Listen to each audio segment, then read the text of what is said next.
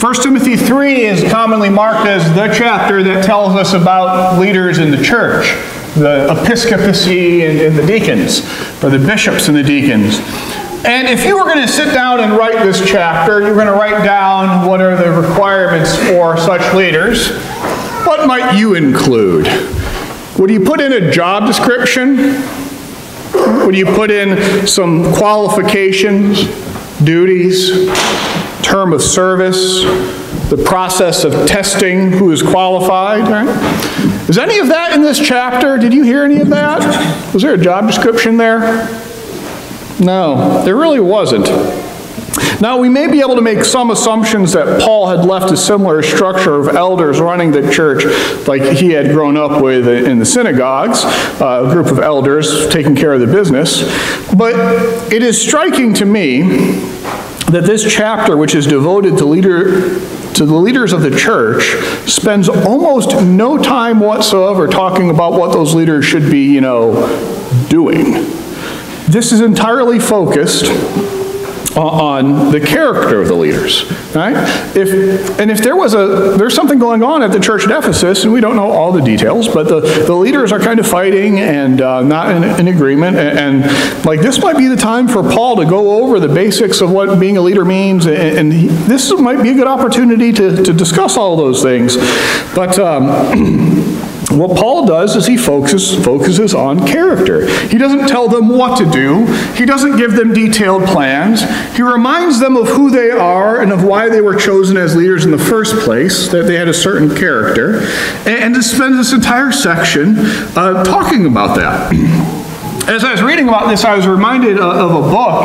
I, read, you know how you can go on Kindle and you can get the first chapter for free? I blatantly did this. Uh, John McCain wrote a book called Character is Destiny. And he's right. And, the first chapter lays that out. I need to go back and buy the book and read the rest. But like, character is destiny. That's how it works. But if we have leaders of good character, we don't need any rules or laws to try to bind them because they're people of good character. Rules guide, but you don't really have to have them. And if we have leaders of poor character, well, there is no rule or law that can bind a leader of poor character. There will always be a way to squirrel around this. And it struck me that I am deeply, like, passionate about this because I've run into situations. There's one particular situation that, that like to this day bothers me about leadership in, in the church. Uh, back in, when I was in seminary, so this is almost 20 years ago now, there was one particular person. I'm going to avoid all pronouns and names because I'm not telling you anymore, but there was a person who was very popular. Everyone wanted to be around this person and, life of the party. We didn't party often. There was one party a semester at seminary because after the, the first two weeks, you had your one party, then you had to study forever. Uh, and uh, 20 years, 18, 20 years ago now, it was rumored that this person may not have been straight. It's Methodism. It's 20 years ago. I'm in the South. This was a big deal, a really big deal. And I don't know anything about this person's uh, sexuality, but some people were really uptight. Like, this person should not be a pastor because of their sexuality. Now, I am glad this person is not a pastor and has nothing to do with their sexuality. It is because I sat down with this person, we were writing a paper. Uh, you have to study to be a, a Methodist pastor. You have to study Bible, theology, ethics, Methodism, uh, history, all that. And uh, so we're writing a paper that you completely expect us to have to write. Who is Jesus? A good question. And so we're learning the theology of it and how that, what in the first two centuries, how is that like figured out? Who do we say that Jesus is? And, I'm struggling with this because I, I am, I have to get it right. Like this matters. If, if you ask me who Jesus is and I can't tell you who Jesus is plainly, we have a problem. So I am struggling with this to make sure I, get it right because it is a matter of salvation. And this person, looks at me and is like, Andy, why are you up, uptight about this? I, am I'm, what this person told me was going to write what the, the professor wanted to, to hear, and that was that. Turn it in, get your A, move on. And I look at this person and said, so you're, you're what? You're, this person lied in a paper about who Jesus is. I don't care about the, gen- the sexuality. The person lied, and that person is not a pastor. Thank God. Right? And I mean that very sincerely. Uh, because what type of leader, what in the church can a person who's willing to lie be? Like, is that? Uh, John Maxwell writes about how leadership works, and he points out that. Um, you can only attract leaders who are like you. And this is true, right? Leaders who are honest, who are forthright, who are vulnerable about what they are, are, bad at, but willing to learn. Like, you can attract other leaders, those type of leaders gather together. But if you have leaders who are willing to lie about what matters, who, who's going to follow such a person?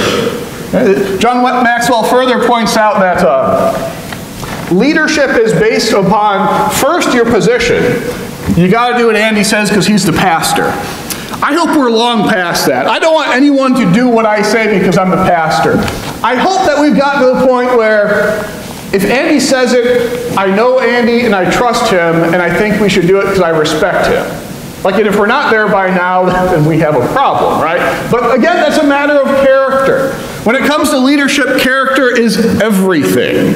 And that was Paul's laying out here. So Paul, uh, and before we go into like the exact details of what Paul says, I think it's worth noting that neither Paul nor Timothy could have met the standards that they lay out here. Like, because they say should be a husband of one wife, and Paul and Timothy, neither of them were married. And so I doubt that Paul was trying to write down a list that would disqualify him from, him from being a leader in the church. Well, I, so I think what we should, the way we should read this is, this is sort of describing a general character. It's not creating a checklist. So, this, what, what, what does Paul write? Paul writes that a bishop must be above reproach, married only once, temperate, sensible, respectable, hospitable.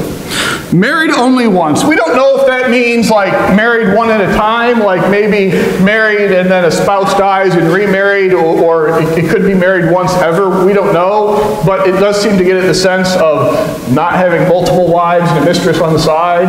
Don't be polygamous, right? Keep, keep the family in good repute. Um, Past, uh, bishop should be temperate, sensible, respectable. Be people who can handle decisions without ignoring emotions and without getting wrapped up in them. Be hospitable. The elder, the, the bishop, is the one who is going to offer and lead the people in offering hospitality to people traveling through. The bishop must be an apt teacher. This is the, one of the only indications we have about what a bishop does, is a bishop must teach to a certain degree. The bishop should not be a drunkard, not violent but gentle, not quarrelsome, not a lover of money. There's nothing worse than a leader who's itching for a fight.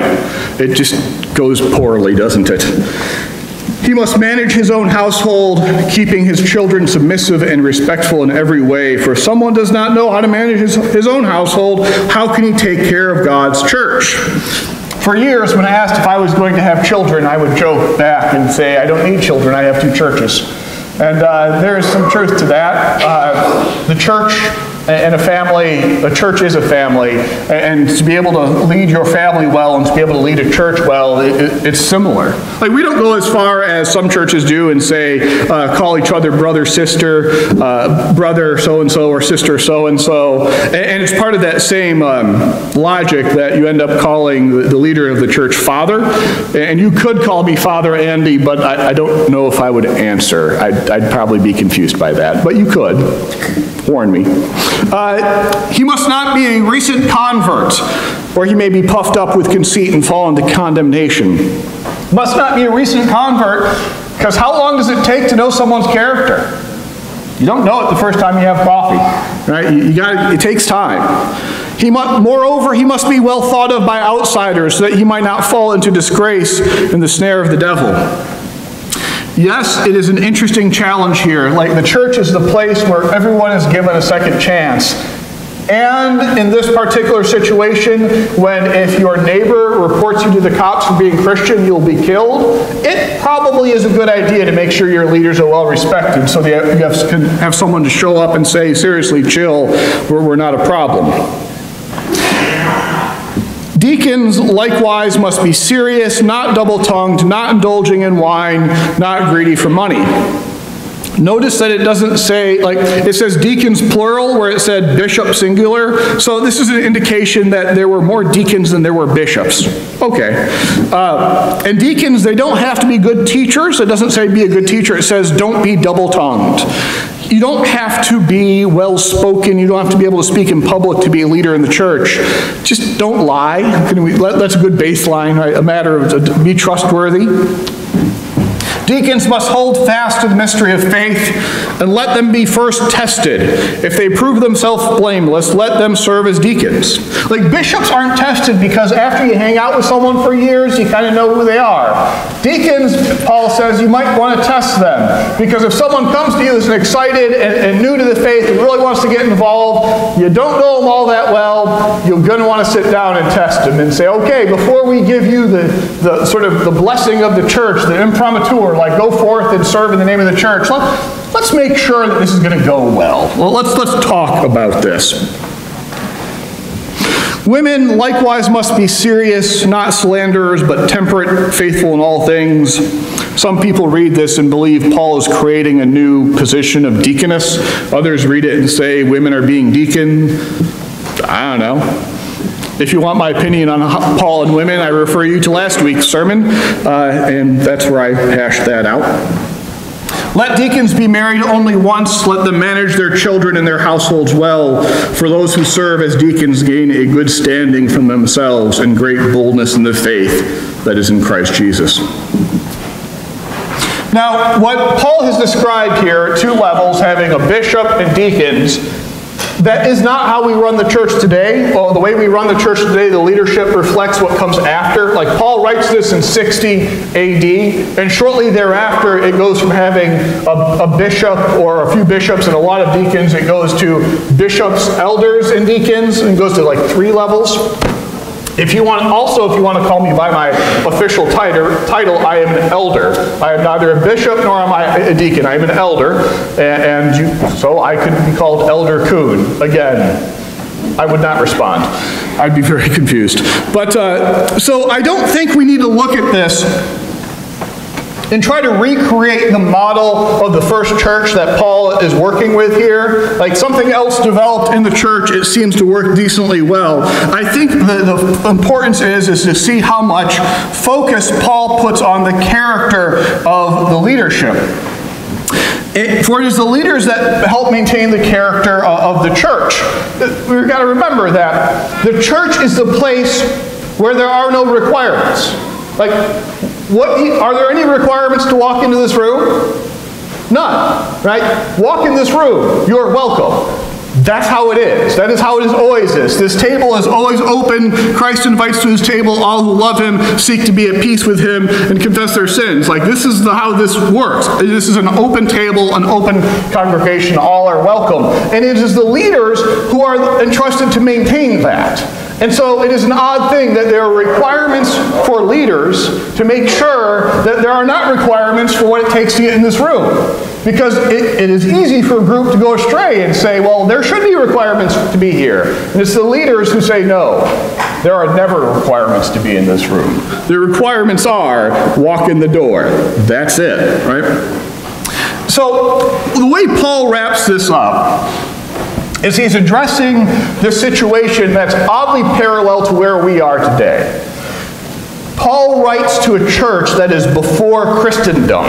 And Christendom is the name for this time, when, for centuries really, when the church and the state worked together really well.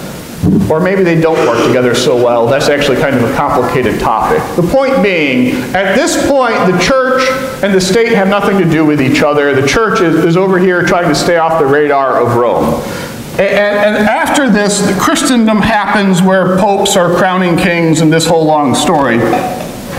And we've come out on the other side of that, and Christendom kind of died about the 1960s. And eh, we've hit this point where the church is sort of off, is just not, does not have the cultural pull that it once had in Christendom. It just doesn't exist. Like, it is not a given that everyone, every family in the community is going to be involved in a, actively involved in a church. And, and so the advice that Paul wraps up with is oddly fitting again. Well, because what Paul writes is that the church is to be a pillar and a bulwark, a pillar and a bulwark of the truth. A pillar lifts up what is good, and a bulwark holds back what is bad, if you think about it. Right? So the church is the pillar of holding up, this is what leadership looks like. And it was a bulwark that pushes off, a defensive line that pushes off that which is not in line with this. And I lament that it is the case that we can no longer assume that if you are a business leader or, a political leader or a leader of any stripe, really, we can no longer assume that if you are a leader in America, that you are a part of a church where you are showing up and confessing and forgiving and hearing the good news of Jesus Christ on a weekly basis. Like, we, that's just not a given anymore. And, and, so, in a similar way to the first century, the, the role of the church today when it comes to leaders is to lift up the importance and centrality of character. Character is everything when it comes to a leader. We lift that up as a pillar, and we're a bulwark to fend off anyone who would say differently. This is what leadership following Jesus looks like. We are here to live it each and every day. Amen.